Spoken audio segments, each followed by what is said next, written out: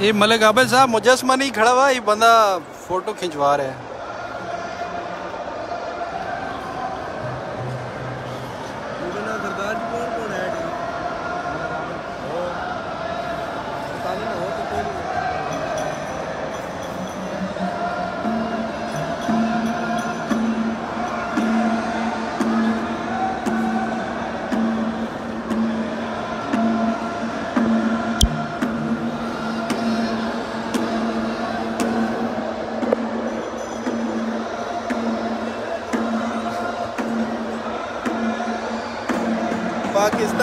जिंदाबाद